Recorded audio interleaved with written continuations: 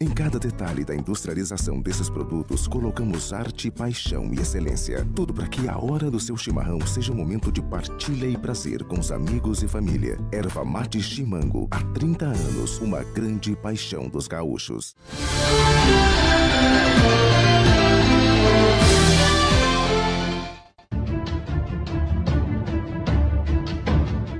Os ambulantes disputam espaço nas calçadas do centro de Belo Horizonte. A maioria são pessoas com deficiência, mas eles não gostariam de estar aqui. Douglas só trabalhou formalmente como aprendiz. Depois de várias tentativas de conseguir outro emprego, acabou desistindo. Fiz entrevista no BH, como eu te falei, só que eles falaram que queriam me chamar em fevereiro, janeiro, fevereiro, só que nada. Depois disso, não tentei mais não. Aí eu vim trabalhar na rua mesmo, para seguir meu dinheiro. Adão perdeu a visão há 10 anos e depende da honestidade das pessoas para não ser passado para trás. A baixa escolaridade e, principalmente, o preconceito fez muitas empresas fecharem as portas para ele. É, eles colocaram muito obstáculo sobre subir descer escada, entendeu? E quer dizer, se eles acham que o deficiente visual não dá conta de subir e descer a escada, prepara a rampa. Quem vê pessoas com deficiência na informalidade pode pensar que faltam vagas de carteira assinada mas os números mostram o contrário. Em Minas Gerais, sobram 27 mil vagas nas empresas que se enquadram na lei de cotas. Um incêndio de grande proporção atingiu parte da refinaria de Manguinhos, na zona norte do Rio de Janeiro.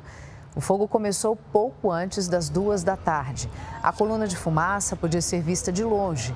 A direção da refinaria informou que o incêndio teve início em um dos caminhões que fazia a descarga de combustíveis.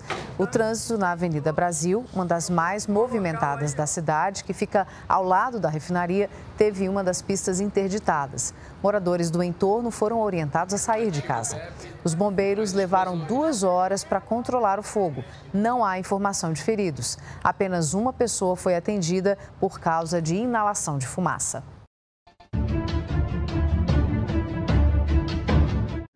Respire ar puro. Os líquens nas árvores demonstram que a selva de pedra da Grande São Paulo tem uma área onde se enche o peito de ar bom.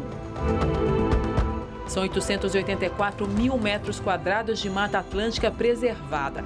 A iniciativa, que levou uma década para ficar pronta, é um presente dos imigrantes japoneses para o Brasil. É um sentimento de reconhecimento àquela recepção que nós tivemos, os nossos avós, nossos pais tiveram aqui no Brasil.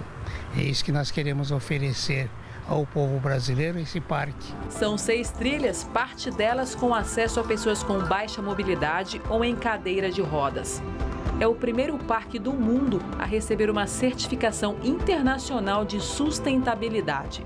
A água que nós captamos do telhado do, do portal, né? esses lagos são abastecidos com água de chuva. E onde há escassez de emprego, o Verde empreende. Um dos pilares do projeto seria a inclusão social e é permitir a entrada dessas pessoas no, no, mercado de trabalho. A rodovia dos imigrantes está bem aqui, Bem perto dela tem uma das principais atrações do parque, que é a trilha sensorial. Para você entrar nela, você passa por um túnel verde coberto por maracujá silvestre. Conforme você vai andando, o barulho da rodovia diminui e você passa a ouvir cada vez mais o som da natureza. Essas e outras notícias você confere no nosso site www.lagoatv.com.